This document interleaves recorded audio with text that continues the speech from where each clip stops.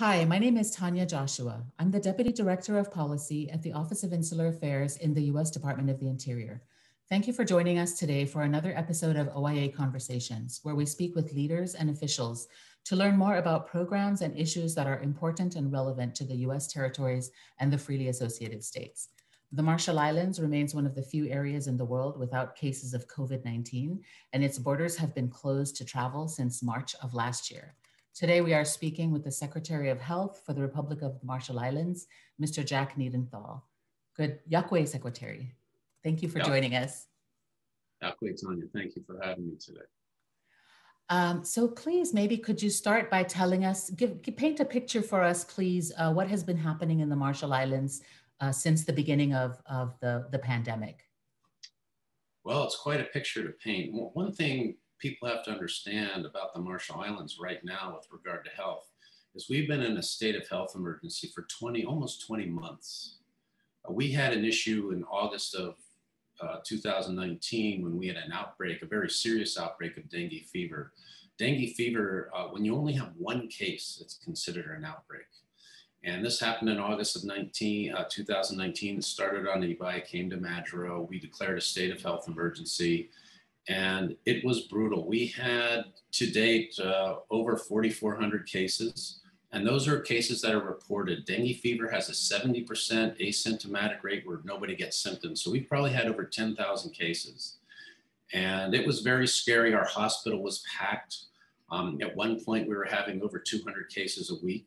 And this was went right into the end of the year of uh, December, and out here in the Marshalls, we have Christmas time, and people practice their dances and everything. So by the time we hit January of 2020, um, it was the worst part of the uh, the outbreak. And during that time, the other thing people have to understand about what was going on here with regard to health, this was at a time when it was flu season, so we kept having outbreaks of flu, which presents in much the same manner as dengue fever did. So we really had our work cut out for us. And so we had two, two flu outbreaks during that time. And if you remember, also late in 2019, there was a huge outbreak of measles that swept throughout the Pacific. It killed 82 people in Samoa, most of those little kids.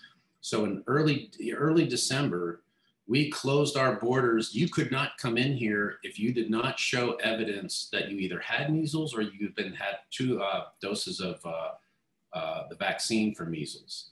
And that went right through to March. So before so, before COVID even hit, you were already battling um, disease and, and, and working that way. Yeah, and dengue fever is a very serious disease because when somebody gets that, you have to monitor it, uh, the platelets of the, the patient every hour. So our hospital was packed. And the amazing thing was we were now down to zero or one case a week. We're almost done with it um, but we're still fighting it. Um, it's a dangerous disease. And uh, I can still remember late in 2019, we had our first death. It was a little 11, 12 year old girl. And I can tell you that when we had the meeting that day after that happened, uh, everybody was in tears, even just one death. It was a horrible thing for us. And we became really determined not to let that happen again. Uh, the statistics statistically, when you look at dengue fever, it has, there's a lot of fatalities. And even though we had somewhere around 10,000 cases, if you count the asymptomatic cases, we only had a total of two unfortunate deaths. And that's a real big tribute to the people I work with, really incredible people. Um, I'm really impressed. Um, but, but going into January, we were really struggling. And all of a sudden, we started hearing about this outbreak in Wuhan, China. And we became really concerned about that. And as we moved into February and it was spreading very quickly, we were putting countries, we were issuing travel advisories and putting countries on our list every couple of days at one point. Um, when in the beginning it was like Italy and of course China and Japan and uh, Iran in the beginning. And so we were, as soon as we saw community spread in a country, we put it on a travel advisory. And that became really critical for us. And it became, people were really, well, what are you doing this for? You're blocking these people from coming. Even here, people were really upset with us.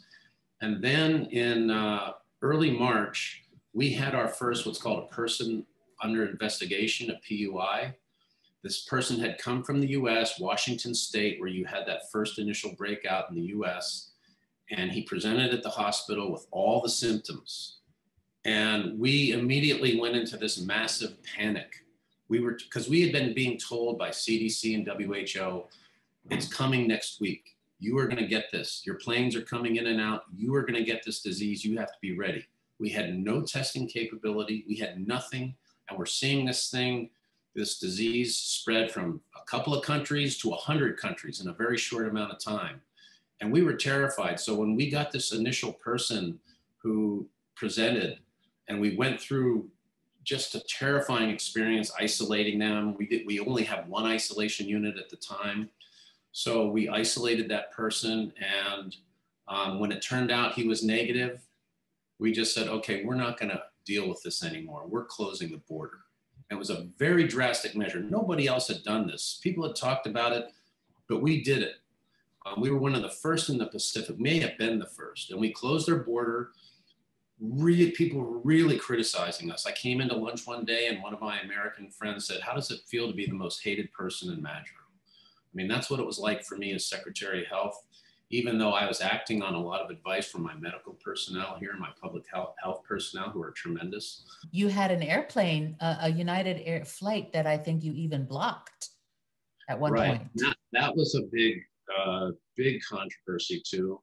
Um, but uh, yeah, before that, we had that happen, and we stood out there at the airport and just said, "You're not getting off. No one's getting off that plane and even coming into our lounge." Um, and United Airlines was really upset with us, but we had a country to protect, and, and quite frankly, I didn't care about what anyone thought about it. Could you tell me um, what would have happened if you what what would you what did you think would have happened if if you did not close the borders and you you did get a positive case? How would how would you have handled it? Well, that was the problem at the time. A lot of times these days, we've built all these facilities now. We have an eight person ICU unit now with ventilators and everything else. We, have really beefed up our hospital both here on Ebeye. But we just had no testing capability. We had no way of knowing if that disease was coming. And uh, it was quite scary because we weren't sure what to do. Nobody knew what to do. Everybody, the whole world was in a panic at that time. And I can tell you that even WHO was telling us when we closed the border that border closures don't work. They said that more than once. And thank God, I, as secretary, I just listened to my own people. They said, we don't care about what people are saying. Let's just do it. So in the beginning, it was very controversial, but within two weeks, all of a sudden, a lot of the other Pacific countries saw what we were doing and they just said, we're doing that too, because it's an island and you have that advantage. And so our public health team worked up a bunch of protocols and things. We, were, we, we had shipping ports. We're one of the busiest shipping ports in the Northern uh, Pacific, maybe in all of the Pacific. Uh, we have a huge ship registry.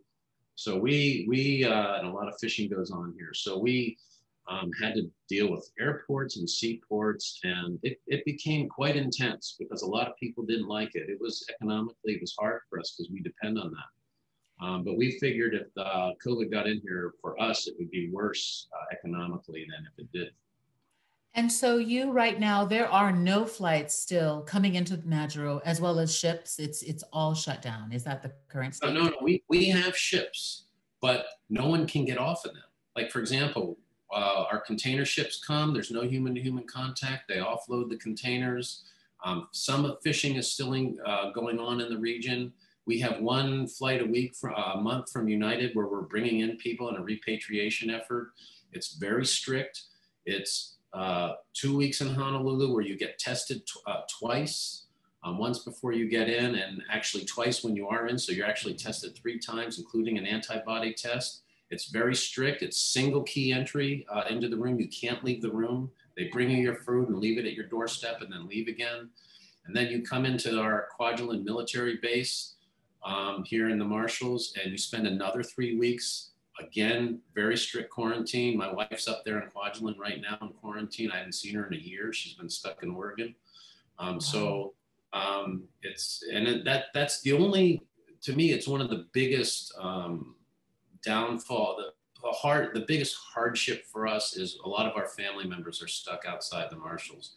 We allow 40 people in a month at this point. um, on United. But again, by the time you're released from quarantine on Kwajalein, you will have been in quarantine for five total weeks, including the Hawaii quarantine, and you've been tested five times. So anybody, so anybody who's anywhere in the U.S. and wants to come back home to the Marshalls comes to Honolulu for a, a quarantine. What, where are you? Where are people quarantining in Hawaii? It's a call right now. We're using the Pacific Monarch Hotel. A lot of the hotels in Hawaii, because their tourism industry was heavy, heavily hit, they're really happy to use their hotels for quarantine because you know you have steady people in there for two weeks. We, we take up a lot of rooms. Imagine 40 people. Um, so that's how we've been doing it. So how many people have you repatriated so far? Well, if you count the U.S. military repatriations, we, we've uh, repatriated over 700 people. Um, the U.S. military is coming in once a week with about roughly 20 people. And I just want to say this right off the bat that uh, Colonel Bartel uh, is a most beloved character out here in the Marshall Islands. He's been really tremendous to work with. He's helped us set up our that quarantine facility on the military base up there. Um, and anytime we've wanted change in protocols, which we've done a couple of times, he's been really cooperative and happy to do anything. He's very strict with his own people, just like we're strict with ours. So it's something that's really worked well for everybody, and uh, really, really proud of the way that's worked out. And Colonel Bartel, I think he leaves in June. It's going to be a sad day when he leaves. I'm very happy to hear that that you have that support from Kwajalein uh, and the and the military uh, commanders there, Commander. Um, can you tell us a little bit more about other federal support that you've received in, in these efforts? Uh, quite honestly, um, and again, I, I, worked for Bikini for 33 years, and so I was uh, a little bit of an antagonist uh, in that role because we were representing the Bikinians and what happened during the nuclear testing. So when I compliment the U.S., uh, it's more than just when anybody would do it because I've, I spent most of my life actually in very good relationships with people in the U.S. government, the Congress, and uh, you know a lot of lobbying effort. We, we were always uh, very cordial and, and, very nice, but it was still you were trying to rectify a wrong. But uh, I can say unequivocally that the United States, uh, what they've done for the region, uh, the Federated States of Micronesia, and uh, also Palau, has been tremendous. We had testing in April. They got us that we we have we've had now 54 55 US API calls. We do it every week. We had one yesterday. Uh, Dr. Thane, Dr. Brostrom uh, from CDC get on those calls, and a lot of people from like yesterday, FEMA was on there. They got us testing in April, and uh, we were uh, doing a lot of testing. And I look at the United States. My I know we had so many Marshallese in the US that just got hammered. Our communities in Arkansas, a lot of deaths. Um, my wife was in Oregon. Uh, we saw COVID just rip through the apartment complexes there. And we had a really close relative die. And almost every, anyone in the Marshall Islands now can tell you a story of someone who's died in the US from this disease. The Pacific Islanders, Marshallese, were much harder hit than most other communities in the US by a huge margin. So we knew this was a, a really a bad disease for us. And that's one of the things that drove us to close it off. So the US gave us the testing right away, which was huge because now we didn't have to wait for a week if we had someone who was uh, suspicious of maybe having the disease, even though we had closed the borders. That gave us everything we needed. And, and when we got on those calls, um, together with uh, Secretary, well now uh, Secretary Livingston died this week, uh, the Secretary of Health for the FSM, and uh, Deputy uh, Gaafar from Palau, every week we would get on and we would mention about the testing. And the US really came through. And the same thing happened with the vaccines. We've had such a tremendous start. We're, we're one of the best in the Pacific right now, according to the CDC reports yesterday. I, I know uh, the Marshalls is pretty near the top, and the rest of the Micronesia, we're far ahead of the rest of the world, really. Um, we've we've uh, uh, done a good portion of our most uh, vulnerable people already. So we're really happy about the U.S. have gotten us those vaccines. We're doing the Moderna vaccine. Um, so uh, it's just been a really, uh, the U.S. has been incredibly supportive. I have to give kudos to my own department and my own leadership for helping with uh, making sure that uh, testing kits uh, came through to you. And I know that we uh, Interior worked with uh, works closely with CDC and and PIHOA, the Pacific Island Health Officers Association, and um, that was actually you know when you shut down the borders. I mean, you, because previously you were sending all your tests back to Atlanta, so right. that was just perfect. That now you can everybody, all the islands can test locally. Critical. Right. Right. And one of the most critical aspects of uh, when I look look at this now, you know, I don't know what's going to happen tomorrow, but I think someday when we look back at history and what's happened in the world and especially in this region, this is going to be known as Micronesia's finest hour. I'm really proud of the people I work with because the way we succeeded is cooperation. And I know in the United States you've had a lot of issues with that, but out here it was top down. We had the president, we had the cabinet we had uh, President Kabua. Uh, our Minister of Health, Bruce Bilimon, has been fantastic during this time. And we have uh, the, the, National Disaster Committee headed by Chief Secretary Kino Kabua.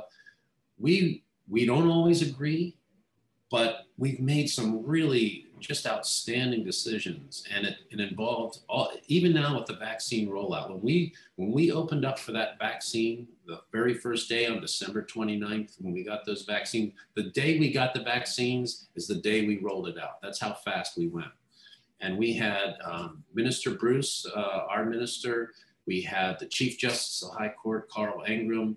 we had uh, the leader of the traditional community uh, Kotak Loeak we had uh, Reverend Johnny from the religious community, and then we had myself and a bunch of doctors and, and our public health nurses, our Dr. Frank, Dr. Robert. Um, and we just did this big ceremony saying, we're doing this vaccine.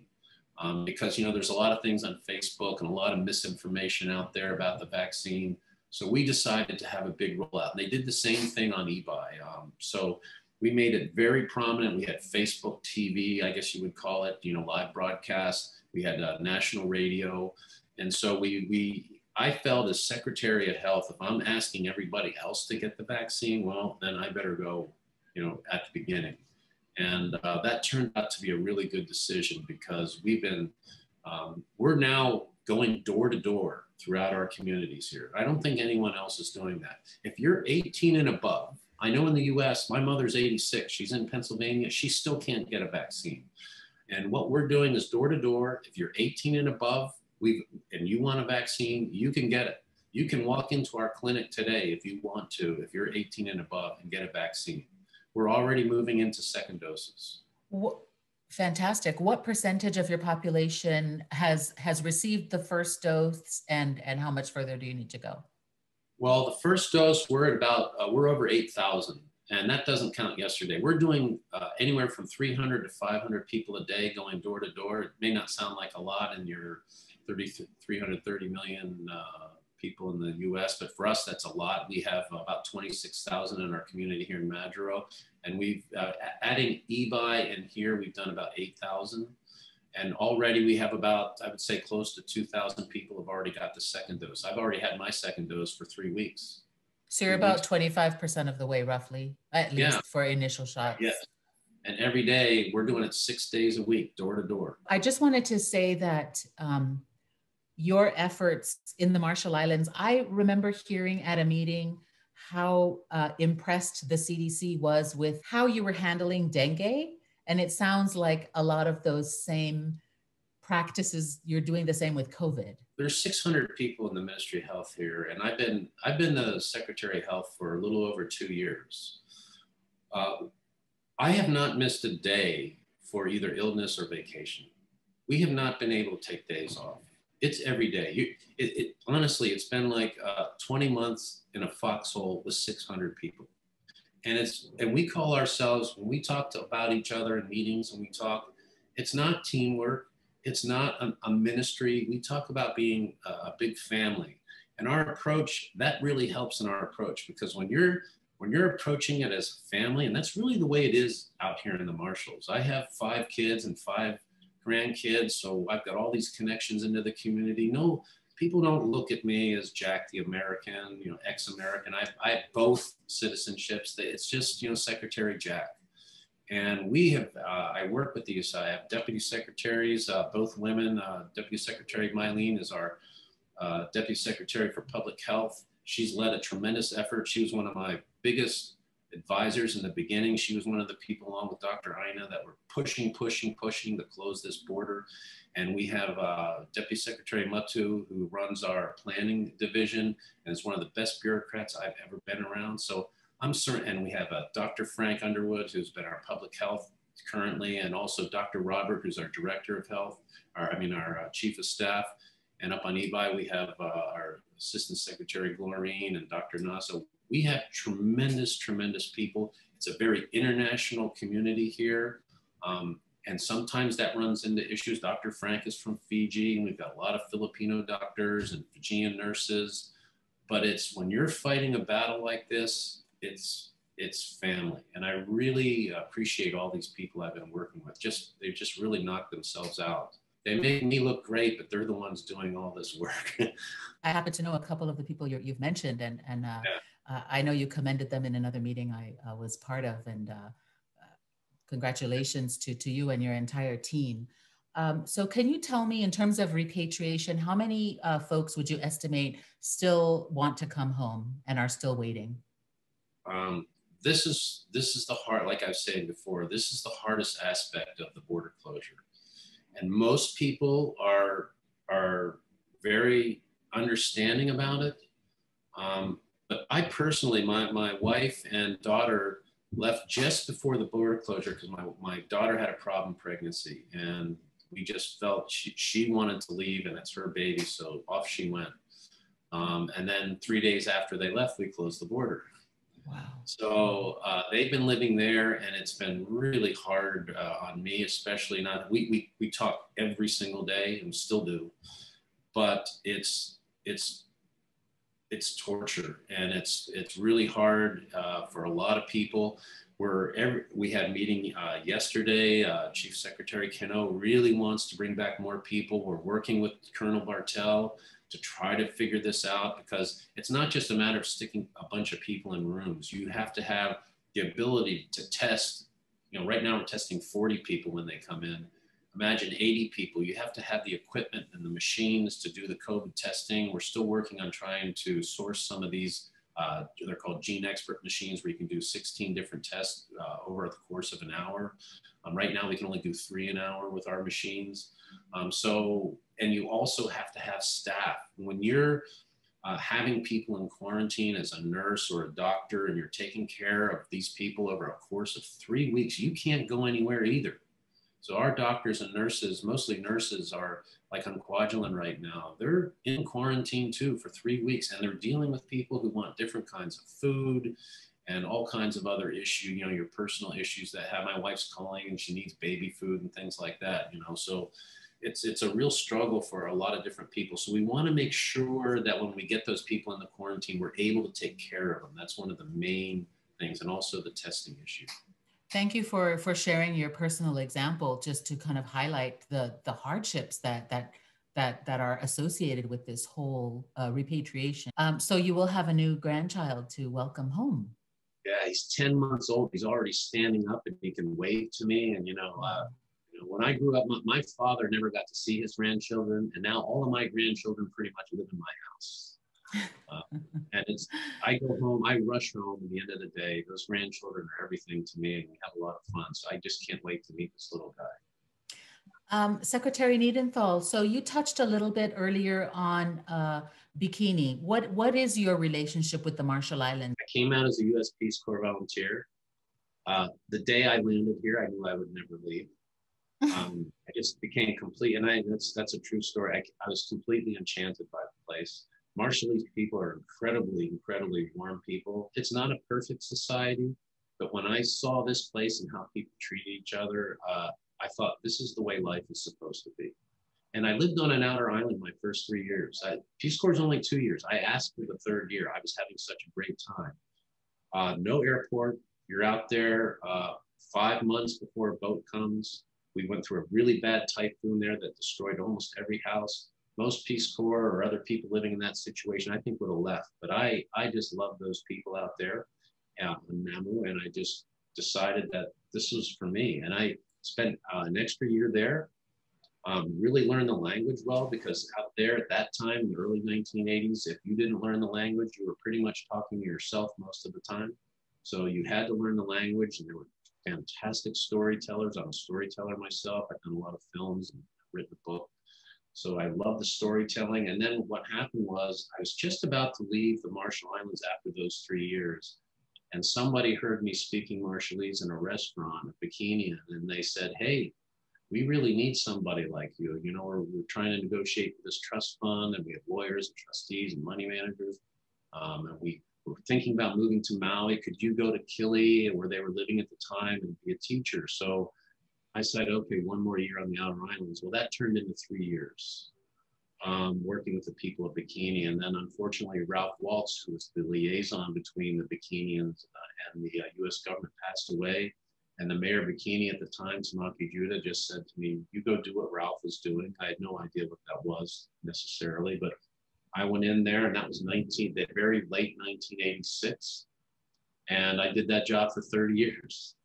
Um, so, and I was an advocate for them. I, I translated for them. I worked with their old people, which was just one of the most marvelous experiences of my life. And I went to college for four years, but the education I got from those older Bikinian men and women was 10 times more valuable to me, the lessons I learned from those people than what I learned in college. So I was really well taught. And so uh, I did that for 33 years. And then I decided I would retire uh, that lasted about eight months because my youngest son decided he wanted to go to medical school, and I figured I better find an income somewhere. Um, so I uh, went off and started looking for a job, and they had just started the Red Cross here. They still were not recognized by the International Committee of the Red Cross. So I decided that would be a good thing for me to do. I like uh, job when I do a job, I like doing jobs that have a purpose and a meaning. So we did that, and within five or six months, uh, we made we achieved all the requirements to get recognized by the International uh, uh, Red Cross, and so we were recognized. I think uh, it's a long process, but uh, that was something that was really gratifying. I did that for two years, a tremendous experience, and then all of a sudden, I saw the the Secretary of Health position open up, and I just said to myself, "That's what I want to do." You know, I'm 63 now that's what I want to do with my life. And I can still remember the interview. Um, I went in as Public Service Commission and they asked me the first question and I spoke for 35 minutes. And they stopped me and they said, Jack, we still have like 19 more questions. Um, that's how badly I wanted this job. So um, I'm really happy that they gave it to me. Yeah, I'm going to ask um, Philippe. Uh, he he works with me and supports this project. If he would like to ask a question. Well, thank you so much, Tanya. Secretary Niedenthal, one question for you. How does your office coordinate health services with the outer islands of the Marshall Islands? We have an entire division um, that we have just for the outer islands. And right now we're training uh, 18 new health aides. That, that's one of the things that's been very also very gratifying about my job. Uh, I get to read the Hippocratic Oath to new doctors. And we, we I've sworn in now four new Marshallese doctors um, in the past uh, year and a half. And we also just did 10 uh, Marshallese nurse practitioners, which is kind of a level between a nurse and a doctor. Um, really, really uh, big events for us. And we have more doctors in training. My son's going to, going to go to medical school. Um, so we really want to get the Marshallese involved. And uh, these health aides that we're training, they're all young people. Uh, I've spoken to them several times now. Um, uh, to see these 18, 20 young people who are willing to learn these things. And, and when you're, I spent six years on the outer island. When you're on an outer island and you have a health aide there, um, and sometimes you don't have airplanes, the airplanes are down, or you're on one of these islands that don't have an airport. Those health aides are extremely important and they have to be really well trained. We have a, a woman named Dr. Ina, a Marshallese, training those people right now, and they're learning a lot. I, I've been down there. So the outer islands are really important. And like I said, the, the medical care out there, you have a little dispensary, and it's going to be really hard when we when actually to get back to the COVID thing, we want to immunize people on the outer islands, but you can imagine we have 29 atolls out here.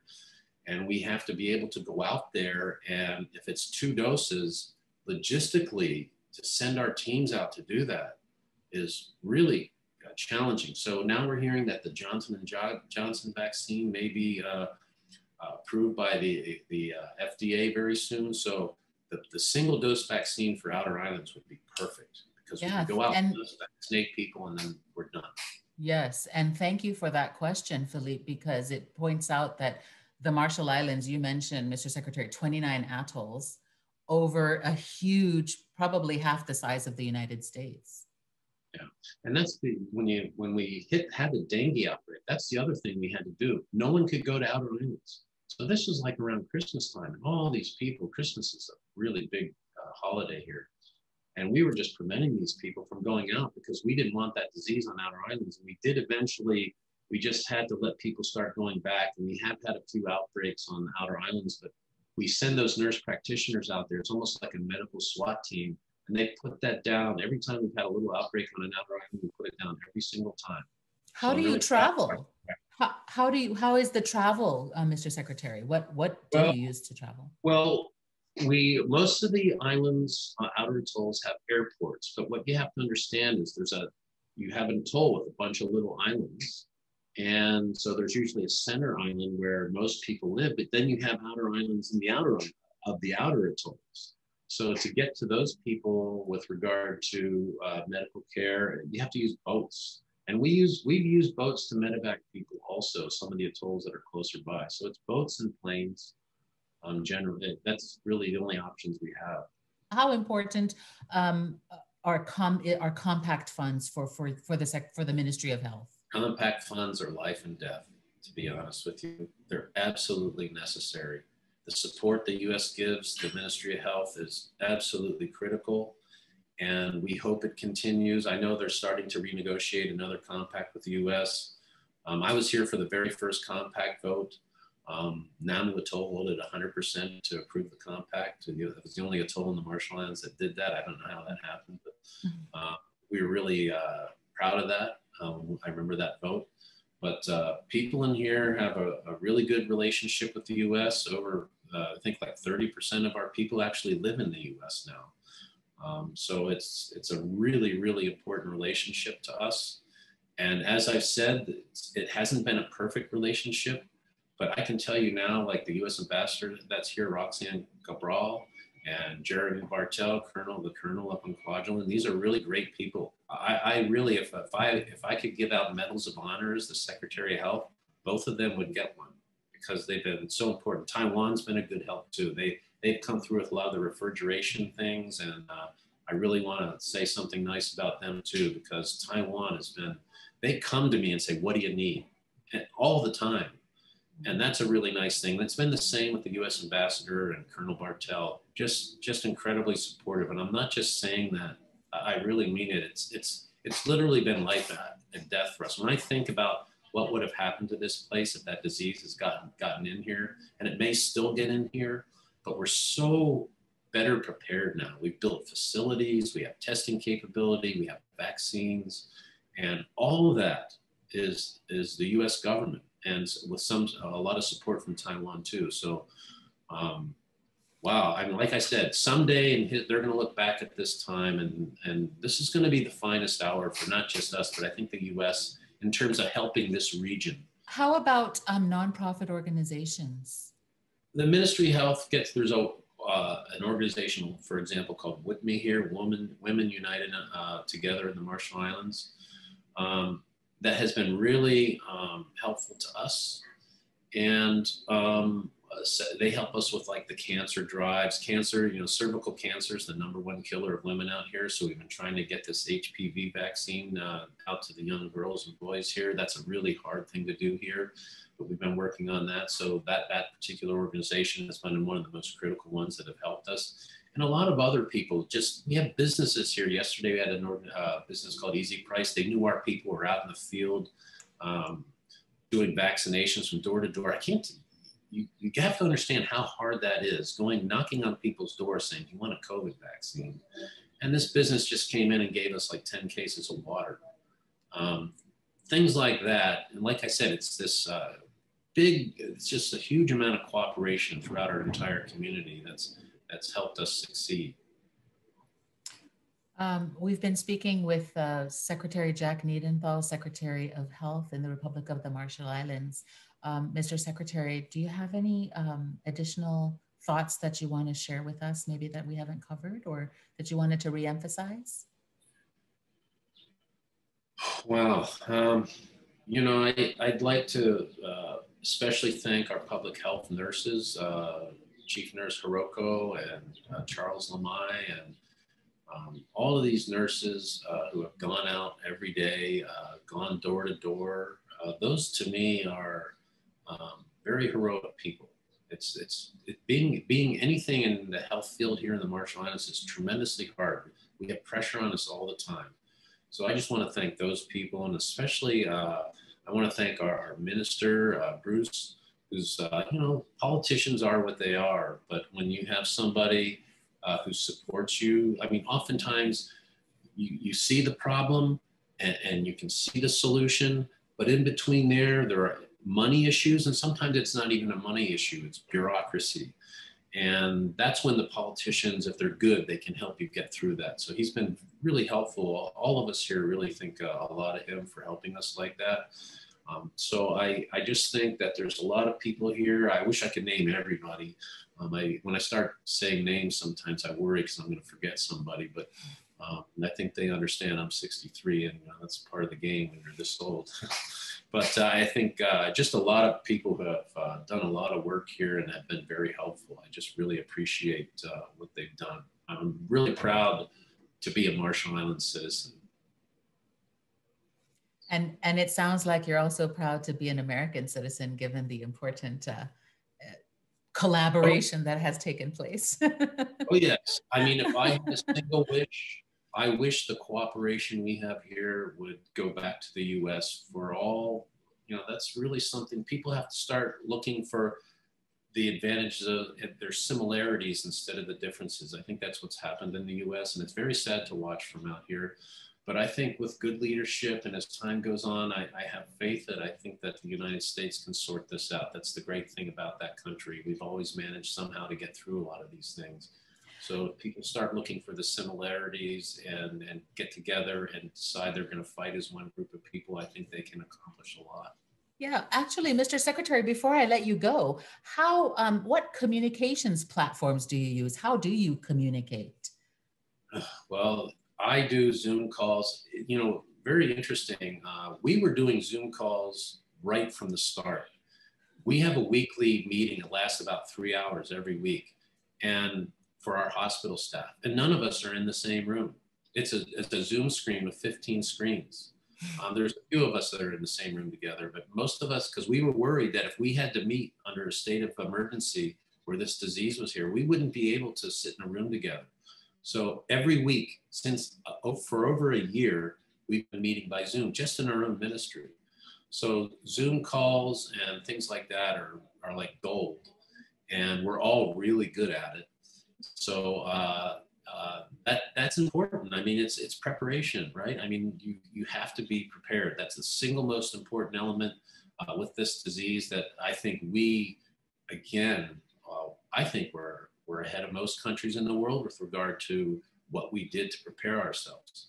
So um, that kind of, and, and of course, if you I'm not exaggerating. I get somewhere around 200 emails a day. We have Google chat rooms, we have text messages, uh, phone calls. The amount of communication as a ministry that we do every day is amazing. And we're, re- like I said, we're really, really good at it. If someone's not answering one of my questions within five minutes, I'm, I'm shocked. And sometimes I'm talking about three o'clock in the morning, four o'clock in the morning.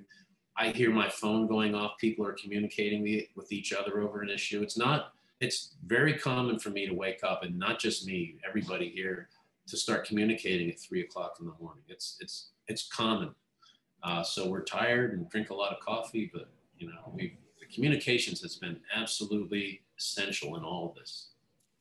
Thank you very much. And, and you mentioned that you do um, Facebook TV earlier as well.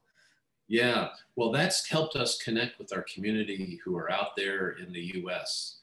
They, they, it doesn't matter if you're in the U.S.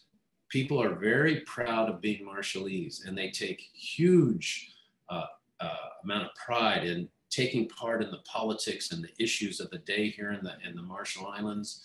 And I get calls and text messages from those people all the time. And it, that, that's good because it's, uh, it's important for those people to remain connected to their culture out here. Because, like I said, I, I don't mean this to be, I don't know, whatever the word is, but I feel like we live in a superior culture, not without problems, but but the idea that everything is family here makes everything a lot better for for our people here too. I mean, the way the society is. Well, you know, Mr. Secretary, we had a conversation, an OIA conversation with the ambassador, the Marshall Islands ambassador to the US. And his OIA conversation has been one of our most popular conversations that's on our YouTube channel. Uh, right now, over a thousand and most of the viewers are from the United States. So I'm imagining that that there there are a lot of Marshallese who are watching uh, to hear what the ambassador has to say. Right. Well, that's what I'm saying. It's uh, we we did when when we had our first we had four border cases back in October November timeframe, and we did a live uh, uh Facebook feed for that. It's had over seventy thousand views and we're only a country of 56,000 people. I mean, you know, it's. Uh, that means you have a lot of friends. You have a lot of friends. It, and most of that was in Marshallese, so I don't know how many Americans okay. watching. But, uh, this is all the, the, all the former Peace Corps, Mr. Secretary. Yeah, some, but uh, and they always make me speak Marshallese, and it's uh, and it's okay um, as long as I'm not tired. Uh, I can speak really well but sometimes when I'm tired, the, the tongue doesn't work right. But. That's really interesting, Mr. Mr. Secretary, because we had a conversation with the Congresswoman from American Samoa, and she was talking about the success of uh, their videos and their communication as they use Samoan. So, are you seeing that your communications are uh, drastically, uh, you know, more more viewed when you when you do the translation? I mean, it goes without saying, I suppose. Um, the ministry's always had a policy of doing both. Like when we do the newspaper ads or any kind of communications, text messages, we do we do both languages because well, there are a lot of people here who aren't Marshallese, and and a lot of Marshallese now these days in the U.S. don't speak Marshallese. There's there's you know a lot of these kids are growing up in U.S. schools, and yeah, that's just a natural I think uh, transfer mm. of cultures, but. Uh, we're really proud of our, our language here. I, I love the language. It's I, I it's changed my life because I was able to listen to the old people. That was the biggest advantage for me of learning the language. It was one of my primary motivations. So after Namu, when I then when I went to Bikini and these Bikinians were telling these incredible Exodus stories, I was just like thanking God every day that I learned that language because I couldn't imagine not listening to that. That's that was actually the book I wrote for the good of mankind um, that had all the stories that had been told to me. So it was like an oral history of the Bikinians. And that, that to me was like, what an education for a young guy.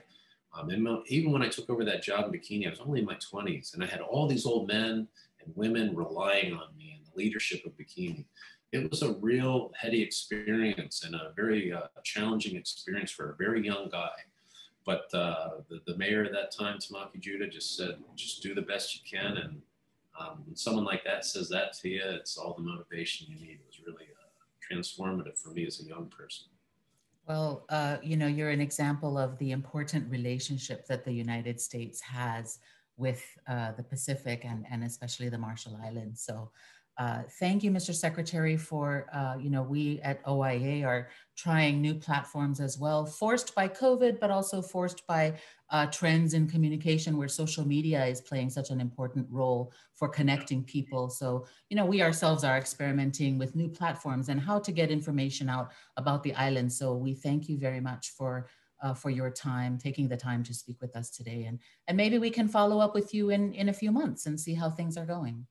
Yeah, like I said, to this point, we've been very, very fortunate. Uh, thanks to people like yourself and the people in the U.S. government. And I can't say thank you enough. I'm sure everybody here in the Marshall Islands has the exact same sentiment. Like I said, uh, uh, we think really highly of the people that out here that are helping us now. And I think going forward, uh, we hope the support stays there. I'm pretty sure it will. I have a lot of confidence in that. But uh, these are moments that make me uh, very proud. Is uh, you know, my American heritage is something uh, that I'm really proud of. Because, like I said, for a long time, it was something I had to struggle with. Um, but these days, uh, I can't say enough good things about the way we've been supported out here throughout the region. I know all my fellow uh, health people throughout the region, throughout the freely associated states. I know we're all really appreciative of the way that the way the U.S. has come through um, for us because it was very, very, very scary. I, I just can't, uh, you just can't imagine the way we were so scared here. Thank you very much, Mr. Secretary.